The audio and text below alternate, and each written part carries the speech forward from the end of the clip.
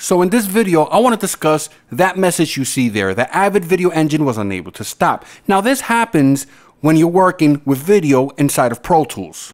I upload one to two videos a week and it annoys me. So I could imagine somebody that does audio for video for a living and have to constantly deal with this particular problem. As far as normal usage, and what I mean by normal usage, mixing, recording audio, I really don't have a problem. Here's the thing, I am using Windows 10, not a supported operating system, and on top of that, I'm using a pre-release version of Windows 10. Here's why I say it's not Windows 10. Same problem occurs with Windows 7, Windows 8, even happens in the Mac world. You can also say it's codec related, it could be QuickTime, it, it could be a lot of things. And you know what? You're probably right. But there are so many people having this particular problem and we're trying to find a solution.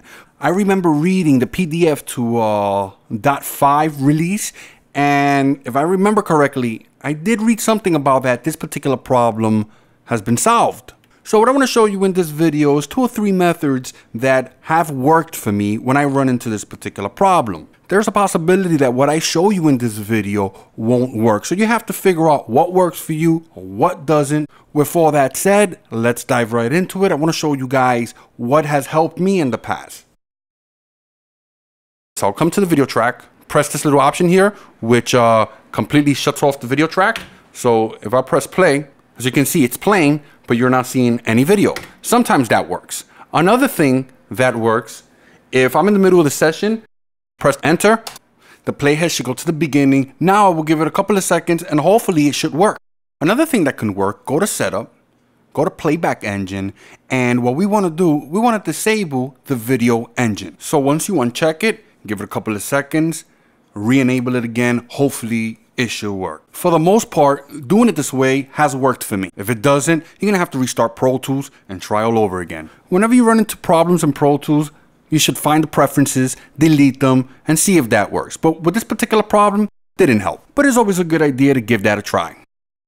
So in the middle of editing this video, I decided, you know what, I want to talk about another problem that's in Pro Tools, and I'm pretty sure it's happening to a lot of you guys. So besides the video problem that I just discussed, there's this problem when you have a click track, nothing else in your session, your CPU spikes and Pro Tools gives you the warning and an error code along with it telling you that your computer's running out of CPU power. And there isn't any fix for that at the moment. Avid has to patch that. What worries me, what about if I'm in the middle of a session with a client, we're working on a production, and that happens?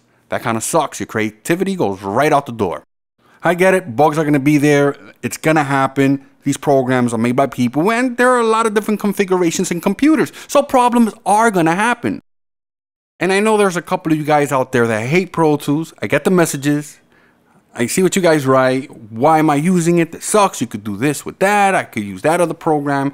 You know what? If you check YouTube, there are a lot of people that have Audacity and they do amazing work. And to me, that's all that matters, that you use a specific program, you learn that program, and your results, it's what matters. Not the tools you're using. Sure, they are helping you, but if you master something, it doesn't matter what you're using. And that's the way I feel with Pro Tools. I know Pro Tools like the back of my hand, and that's why I continue to use it. It would be great if Avid would fix some of these problems. It's also great that they're adding all these great features that we never had access to. Now we have this collaboration tool, which I personally don't use. Eventually I'll try it out. But I'm going to stop rambling here. What I want you guys to do, check the description. I'm going to have some information to all of these uh, topics that we spoke about here in this video. But for the meantime, what you can do is you can click that box right there. You see game over? Click that's going to take you to my previous video, which is going to discuss another problem.